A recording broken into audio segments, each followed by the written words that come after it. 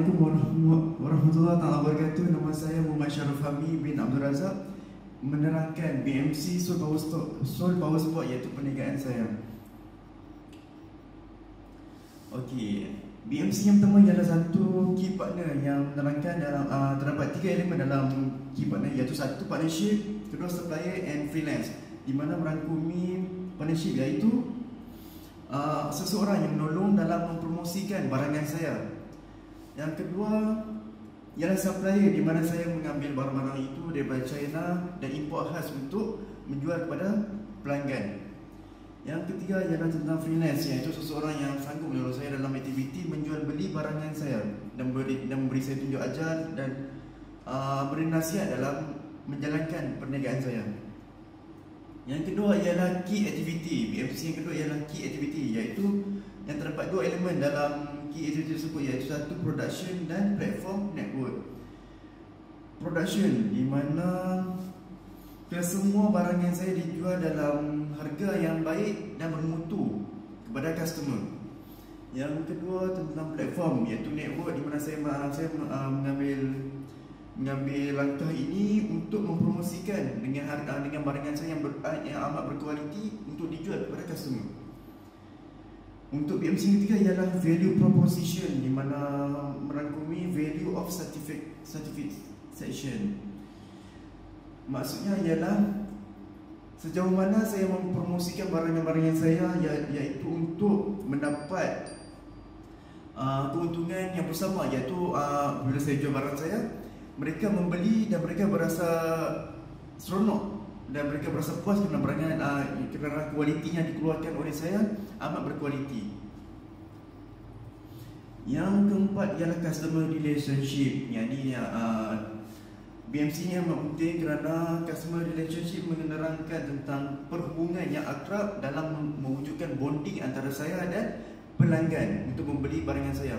Oleh sebab itu, di mana uh, kalau saya menjual barangan saya dengan penuh dengan penuh berkualiti dan pelanggan akan sentiasa mencari saya dan saya akan mendapat regular customer. Seterusnya ialah customer segment di mana saya membuat segmentasi produk untuk uh, untuk target market saya. Target market saya mempunyai uh, dua fasa. Iaitu fasa pertama saya mentarget kepada golongan muda yang cintakan fashion yang amat sesuai lah untuk membeli barang-barang saya dan saya membuat promosi dalam dalam dalam membuat perinklanan di media sosial seperti Facebook, Instagram dan mentujukan uh, segmentasi ini kepada mereka. Seterusnya ialah key resource uh, terdapat tiga elemen iaitu physical, intellectual dan financial. Okey, physical di mana keadaan fizikal uh, perniagaan saya ialah menjual barangan kasut yang terutamanya ialah kasut dan sampingan saya yang saya menjual baju dan seluar. Yang kedua ialah intellectual di mana uh, saya mendapat ilmu dan uh, uh, iktizam ini dengan mengambil kelas-kelas bisnes yang saya belajar di UMK. Dan seterusnya ialah financial uh, di mana financial ni uh, uh, amat penting kepada seseorang peniaga yang ingin memulakan perniagaan kerana modal adalah sangat penting untuk kita membuat perniagaan sesuatu perniagaan. Seterusnya ialah channel. Uh, channel ialah hubungan antara customer dan seller iaitu uh, sekiranya uh, saya menjual barangan saya saya juga membuat tawaran kepada mereka dengan uh, dengan membuat tawaran seperti join saya punya bisnes dengan dengan membuat agent kepada mereka memberikan tawaran kepada mereka untuk promosikan barang saya dan saya mendapat untung dan mereka pun dapat untung itulah antara uh, hubungan antara uh, seller dengan customer. Seterusnya ialah cost structure di mana kos uh, keseluruhan kos yang saya saya jalankan bisnes ini um, amat penting kerana saya menilai keadaan sekeliling sebelum saya membuat uh, sesuatu uh, penjualan barang kepada pelanggan.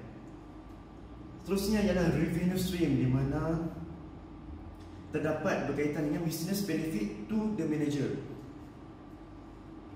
Maksudnya ialah uh, Okey, saya menjual barang kepada pelanggan dan mereka mendapat benefit.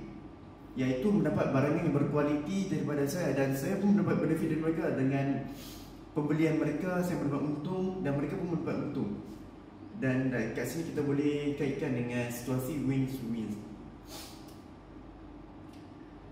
Okey, seterusnya ialah yang terakhir yang brainstorming space di mana uh, saya mengkaitkan dengan tiga elemen iaitu furniture, suppliers and decor di mana furniture ni ialah uh, tentang masa depan saya uh, untuk saya uh, mengambil ilham dengan membuat bisnes ini di mana saya pergi ke satu tempat untuk melihat keadaan uh, sekeliling dan berfikir macam mana untuk saya masuk dalam segmentasi uh, sesebuah perniagaan tersebut.